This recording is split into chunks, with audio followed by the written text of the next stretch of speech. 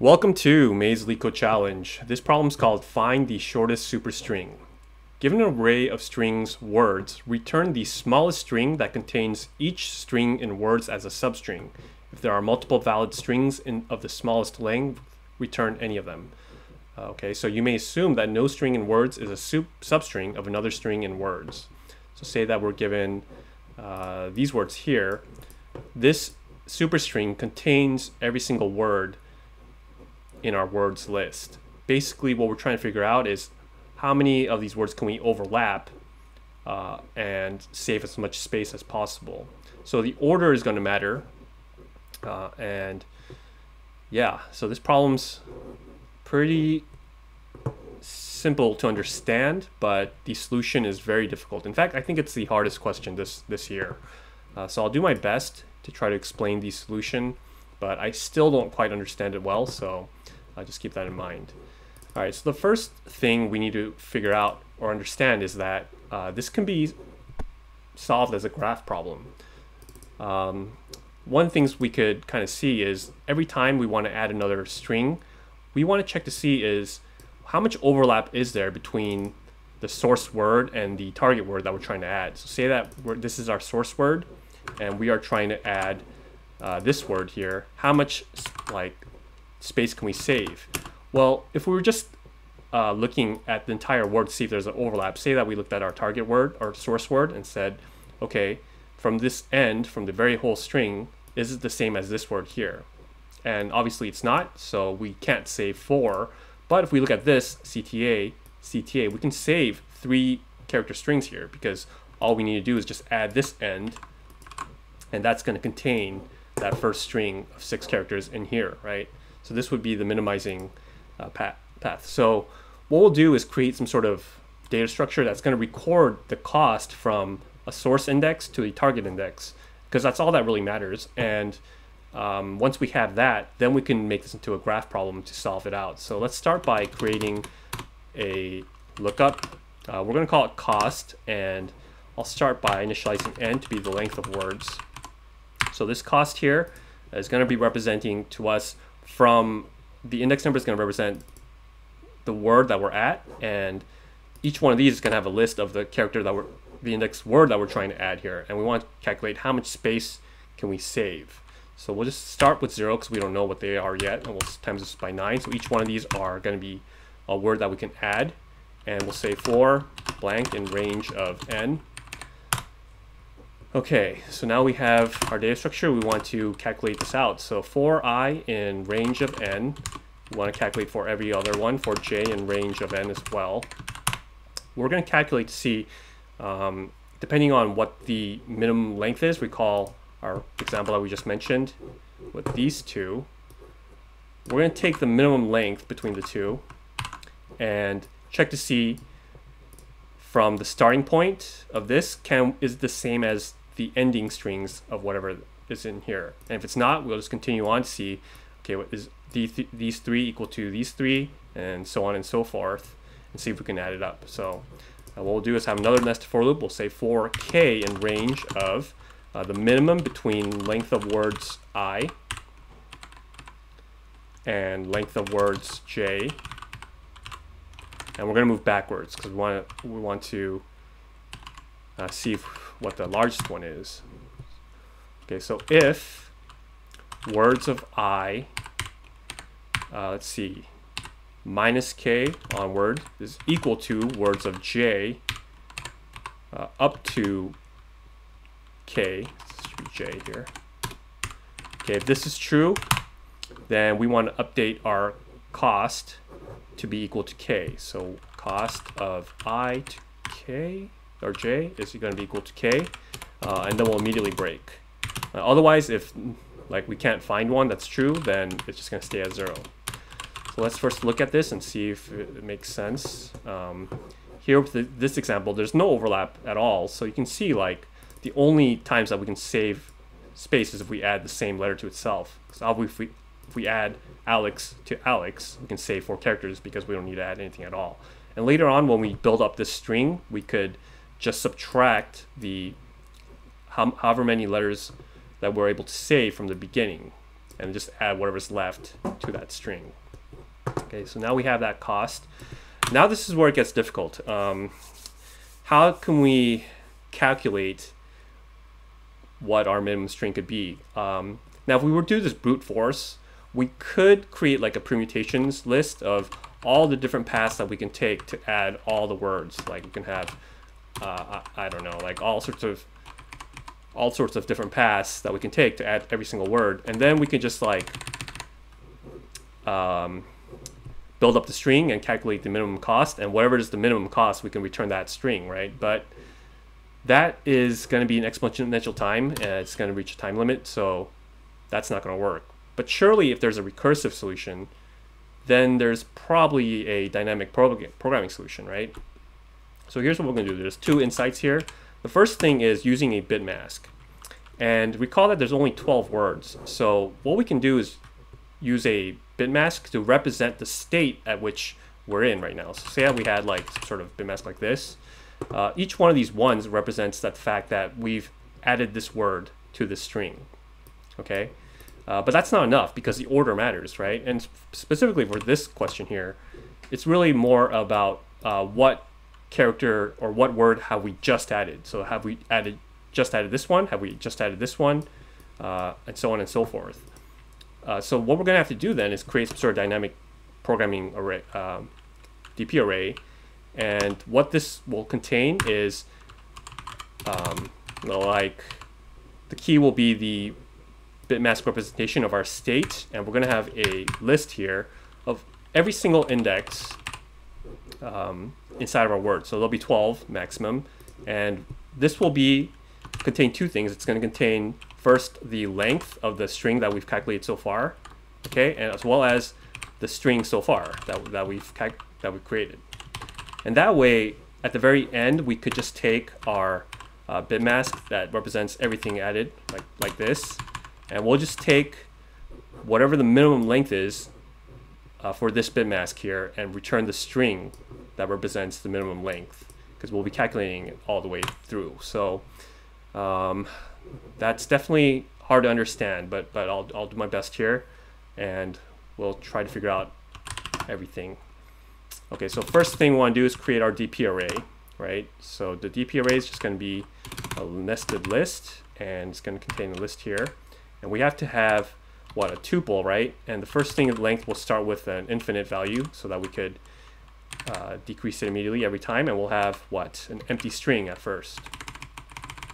So I'll have tuple, empty string, and we'll multiply this by however many indexes we have.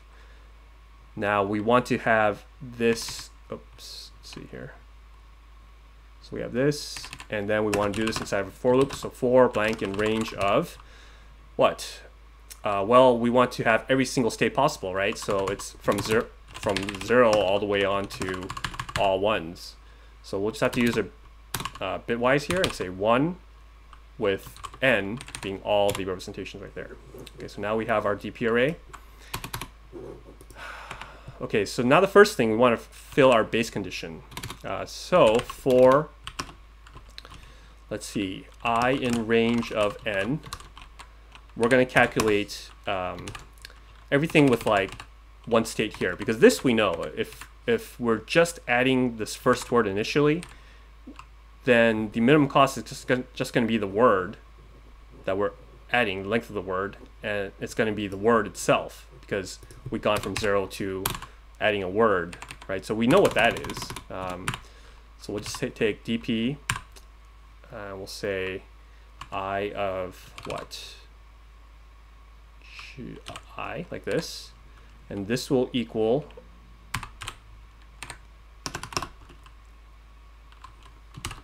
let's see, it will be words i, or length of words i,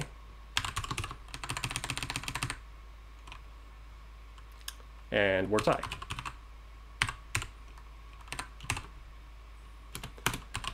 Okay, so let me make sure this also looks good here. Okay, so you can see like when we're adding here four Alex, five loves, and there should be eight LeetCode right here. And it's kind of hard to um, know what all these index numbers are right now because these are all like states, but uh, so be it. Like, we'll just assume that's correct for now. Okay, so now, now we need to figure out like update our DP array in order for every single state as well as every single different index number that we're adding at from the state before. Okay, so uh, we'll call this for, let's call it bit mask in a range of i to n. Okay, so we'll, what we got here? Okay, so the first thing we want to figure out is from which source to which target are we coming from? Okay, so to do that, I'm going to first calculate the different poss possibilities from which index to which index we're coming from right now. Uh, so to do this, let's see. I'm going to call this bits, and we're going to say for j in range of, uh, let's see, n, if we find that in this state, this index number exists, then we'll add it to this bits. So if bitmask, we'll use the and uh, 1j. If that's true, then we'll add it to this bits. And now we can calculate what? The word that we're adding, or the index number anyway, and as well as our source. And we'll say performance in, and we'll use this itertools permutation to get every single different permutation from the source to target. And this actually matters because depending on what word we're adding and which word we're coming from, uh, it could be different. The answer could be different. So permutations in bits, and we'll have two. Okay, so now let's first calculate the candidate. Like, what's the word um, that we will end with right now? Because if it's not smaller than uh, some previous value we've calculated, then then we should just leave it. So the candidate is going to be, let's see, we're going to look at our DP, and we'll say um, now this one gets really tricky, but oh, that's right. Um, we're going to use a or symbol here because we want to calculate like when the state didn't didn't have this added character, right? So uh, what we'll do is say or, and we'll take one to add like this, and we're going to take the add here oh no, no, it's not the add, it's the source, as well as take the second character, which is going to be a string. And we're going to add the second element. So this will be whatever path string that we calculated so far without having added this word. And we'll take, uh, let's see, we're going to add this. So we'll say words add. And we are going to take from uh, our cost function however many words we can save onward, right? So the cost and we'll take uh, from target to source onwards. So whatever we can save onwards, we'll add that to our candidates. And now we're going to try to update our DP. So DP is going to be, let's see, the bitmask, the index number we're trying to add. And we'll take the minimum between dp bitmask and add. And our tuple of candidates, length of the candidates, as well as the candidate itself. Okay. Finally, uh, at the very end, we should have the very last number here, dp will contain like um, a bunch of candidates with with the different index numbers added last.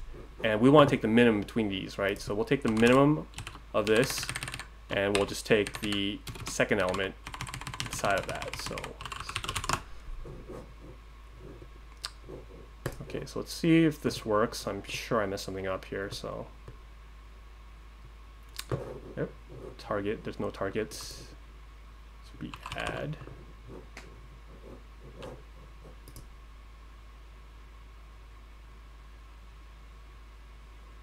Okay, so uh, I don't know if this worked, but whatever, YOLO, let's see if this works. Uh, okay, so I messed something up here. The little length of these look the same. Hmm. Words I'm adding in the cost. Maybe